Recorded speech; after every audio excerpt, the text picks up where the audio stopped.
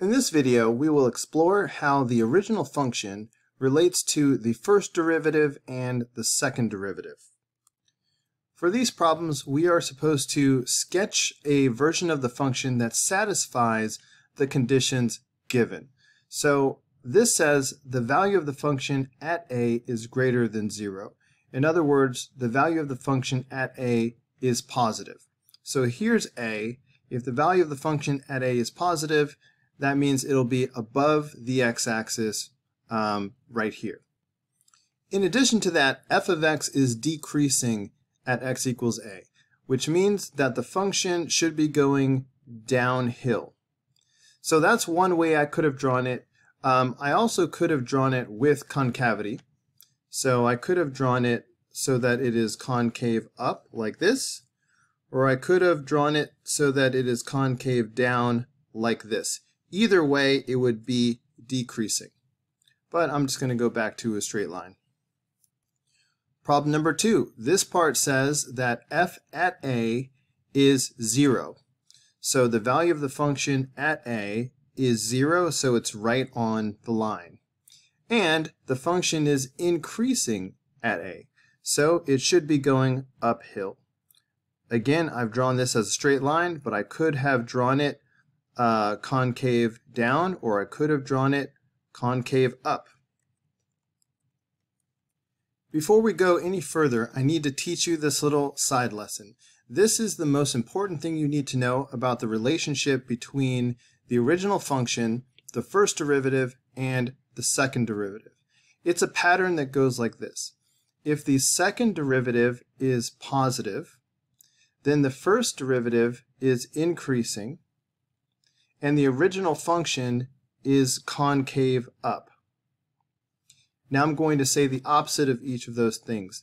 If the second derivative is negative, you can probably guess that the first derivative will be decreasing, and the original function will be concave down. So just memorize the order of these three things. From right to left, it goes positive, increasing, concave up. Now imagine that you took all three of these things and somehow shifted them to the left by one space.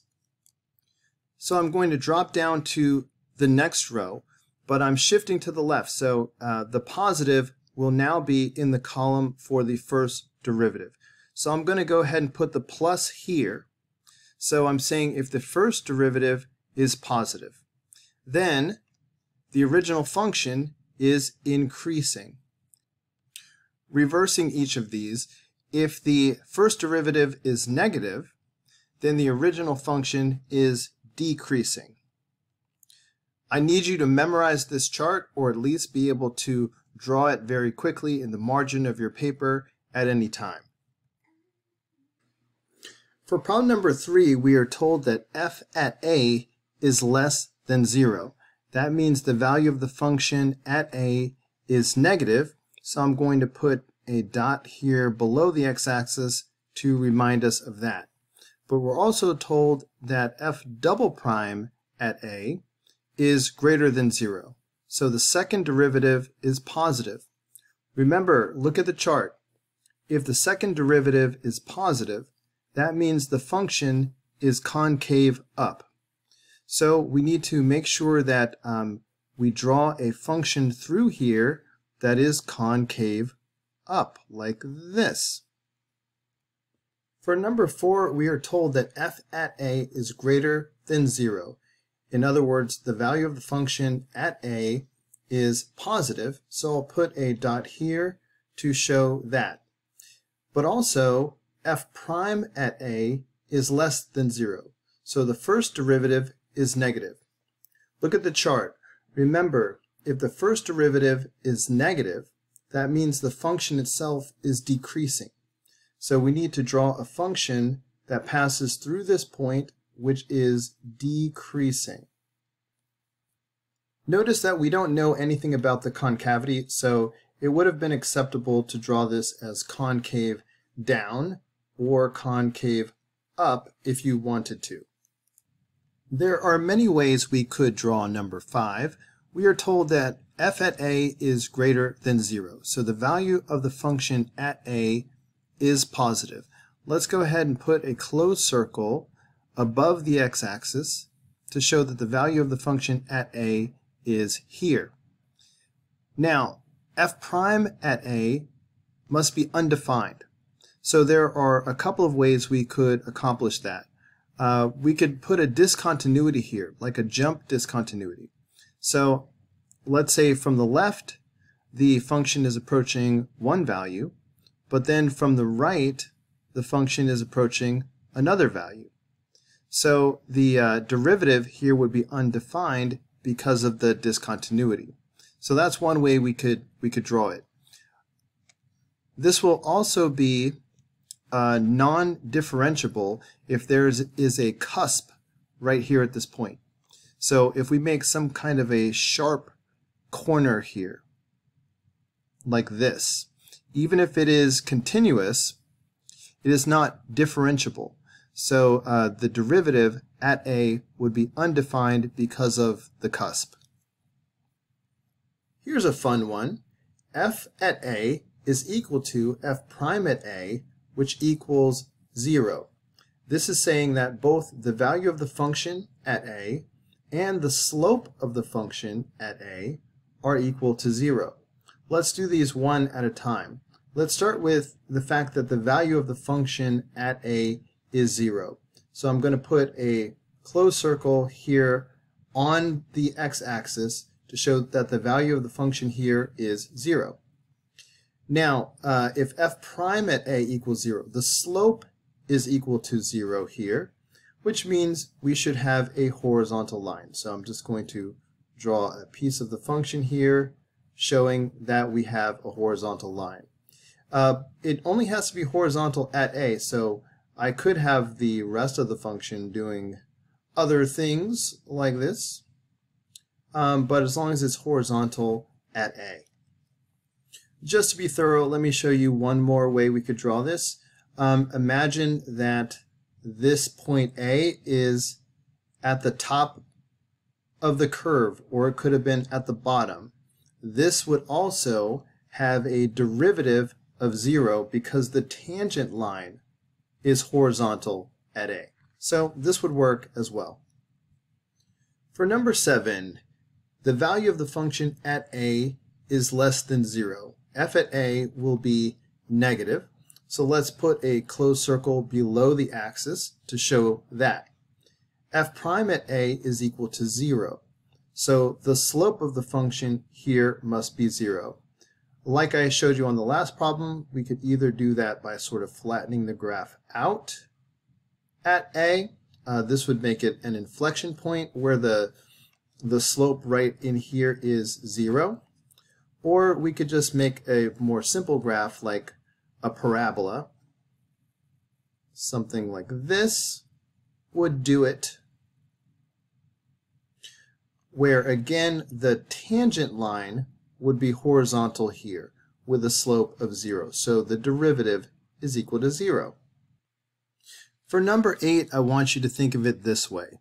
f prime basically tells you about the slope, while f double prime tells you about the concavity. So the fact that f prime equals 0, the slope is 0, that tells you that we are talking about a horizontal part of the graph. The fact that f double prime is less than 0, it's negative, that tells you that the original function is concave down. And that is the information that's uh, captured on this little chart here. If f double prime is negative, then the original function is concave down. So let's try to draw a function that satisfies both of these. So at A, it needs to be concave down, and I really could draw this anywhere. Uh, you know, I could I could draw it up here like this, or I could have drawn it down here like this. Uh, that really doesn't matter. So at A, it is definitely concave down, but I've also drawn it so that right at A, I have a horizontal tangent line. Therefore, the uh, first derivative will be 0. So something like this would satisfy number 8. Our little chart is really going to help us on problem number 9. f prime is positive and increasing at x equals a. So f prime is positive and increasing. That means that function f itself should be concave up and increasing at x equals a.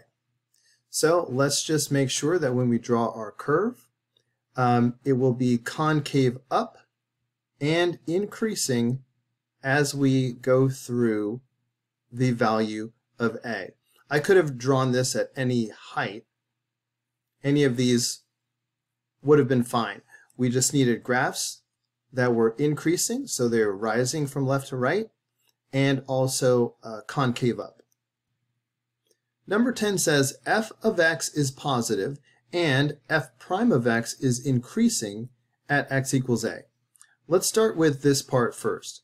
f of x is positive at x equals a. So we just need to put a dot somewhere above the x-axis so that the value of the function is positive at x equals a. But we also know that f prime is increasing at x equals a. So look at the chart. If f prime is increasing, that means the function itself is concave up. So I need to make sure that when I draw the function, I draw it as concave up. So I could draw it like this, or I, you know, I could have just drawn it like this, as long as it is concave up. Number 11 is pretty straightforward. f of x is positive and increasing at x equals a. Let's take it one part at a time. If f of x is positive, then that just means it'll be above the axis at x equals a. Now uh, it must be increasing, which means it should be rising from left to right. I've drawn it as a straight line because we don't know anything about the concavity, but I could have drawn it as a concave up, or I could have drawn it as concave down. Number 12 says that f of x is positive but decreasing at x equals a. Because f of x is positive, I'm going to make sure it is above the x-axis at x equals a. Because it is decreasing, I'm going to make sure that it is going downhill from left to right as we pass through a. Again, I drew it as a straight line, but you could have drawn it as concave up or concave down.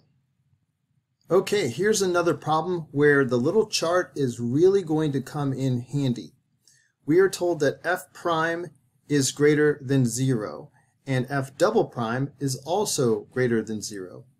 In other words, f prime is positive, and f double prime is also positive. But according to the chart, if f double prime is positive, that means the function itself is concave up. If f prime is positive, that means the function itself is increasing. So we need to draw a function that is concave up and increasing. So something like this would fit the bill. Number 14, another chart problem. f prime is negative. So let's see, f prime is negative and f double prime is positive. That tells us that the original function will be concave up and decreasing. So we just need to draw a function f so that it is decreasing but concave up, like this.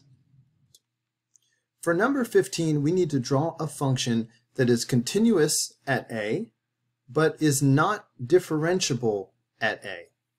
What we need is a cusp, because you cannot differentiate at a sharp corner. So even though this function is continuous, because there is a sharp corner here, it is not differentiable at a. So that's the picture for 15. For number 16, we need to draw a function that is discontinuous at a, but yet the limit as x approaches a exists. Well, they are describing a hole We can't have a jump discontinuity or anything because then the limit would not exist. But if we're talking about just a hole at A, then the limit will exist because we are approaching the same value from the left and from the right. So the limit exists. But yet, because of the open circle, because of the hole, there is a discontinuity at A. Number 17, f prime is greater than 0 for all x, and f double prime is greater than 0 for all x. Well, let's consult the chart. If f prime is positive, that means the original function is increasing. If f double prime is positive, that means the original function is concave up. So we need to draw a function that is concave up and increasing everywhere. So something like this would get it done. Number 18, f prime is greater than 0 for all x, and f double prime is less than 0 for all x. Well, if f prime is positive, that means that the original function is increasing. If f double prime is negative, that means that the original function is concave down. So we need to draw a function that is increasing but concave down. So something like this would work. For number 19, f prime is greater than 0 for all x, and f double prime is equal to 0 for all x. Well, if f prime is positive, that tells us that the function itself is increasing. So we need an increasing function. What about f double prime being 0? Well, if f double prime is 0, that means it is neither positive nor negative. That means the original function is neither concave up nor concave down. So we just need to draw an increasing function that is flat. Okay, it needs to be linear. Um, so that way it will be neither concave up nor concave down but it is increasing. Last one, let's do this in parts and make corrections as needed. So f prime is positive. So if f prime is positive, that means that the function is increasing. So it should be rising from left to right, something like this. But let's look at the second part. The function itself is less than 0 for all x. So how can I draw the function so that it is always increasing, but yet it never goes above the x-axis? How is that possible? Uh, I'm hoping that you're shouting out at the screen, asymptote! Let's do an asymptote. So imagine that the x-axis is a horizontal asymptote. So you could have a function that is increasing, and it is approaching that asymptote. Okay, but the way asymptotes work, it'll keep on increasing, getting closer and closer forever, but it will never reach the asymptote. It will never cross the asymptote. So in this way, the function is uh, always increasing, but at the same time that the value of the function is always negative. It's always less than zero.